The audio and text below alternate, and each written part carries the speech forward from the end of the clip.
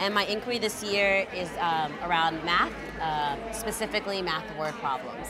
And I chose this inquiry because one, I loved math growing up as a student, and I also loved teaching math um, as a teacher.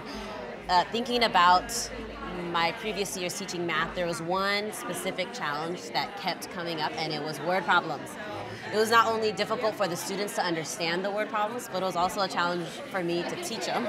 And so I really was hoping that through this inquiry, I would find out what is making word problems so difficult, one, and two, what can I do as a teacher to better support my students' understanding of the math word problems. Um, so my inquiry took many different turns, but right now I'm settled on this one learning goal, which is that students will be able to tackle um, the complex text of math word problems using the strategy sentence unpacking.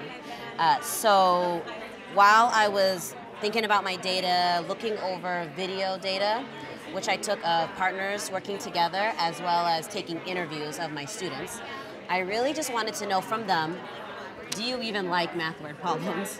What is hard about them? What is easy about them? And what do you do when you're faced with a really hard problem. And that was really the turning point of my inquiry. I heard one student was like, there's just too many words in this word problem. I was like, yeah, I, I totally feel you. um, and they're like, I just see two numbers and I add them. And I was like, okay, thank you for being honest. Um, but at that same point, we were actually learning a strategy, sentence unpacking in ELD, where you take a juicy sentence and you unpack it for meaning and um, for meaning and language features. And so some of the language features are like long uh, noun phrases, uh, prepositions. Um, when a sentence starts with a conjunction like but, like what does that mean?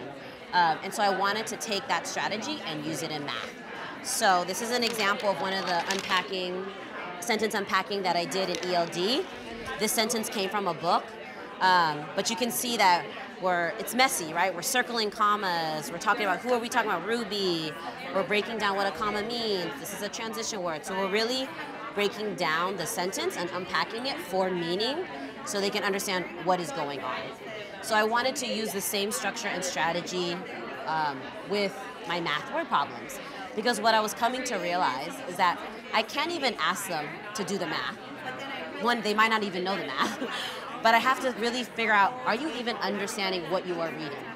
Because they would just zoom through it. So these are examples of, of some student work of their own sentence unpacking.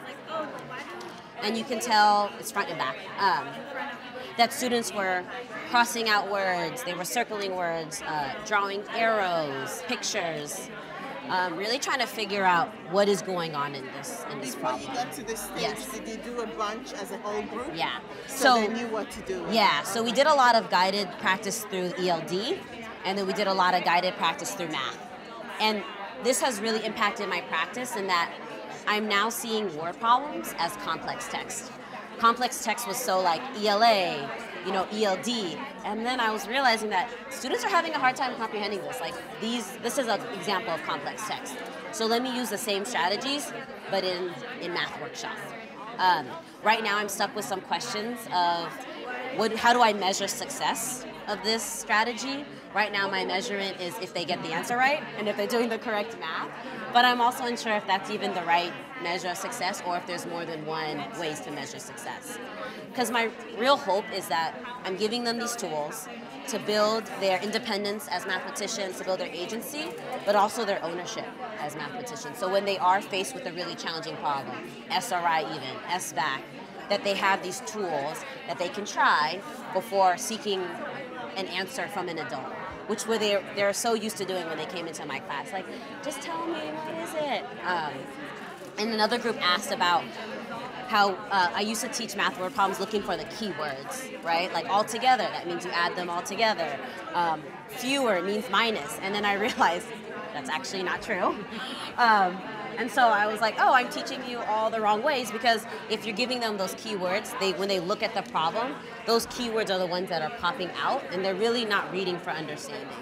Um, and so I really wanted to slow it down. And the slowing down part, I feel like, is the most nerve wracking as a teacher because you want to get through like the 10, the 20 problems. And instead, I'm like, I only did one problem this whole math workshop, um, which is right, it makes you a little nervous. Um, and so, but I realize I'm, although I'm going slower, I'm getting more out from them and they're learning more. And so my next step is really how do I support them in explaining their work to their classmates? We're doing a lot of the individual work, but now how do I support them with the language to share out in a concise and clear way so their classmates can understand their thinking?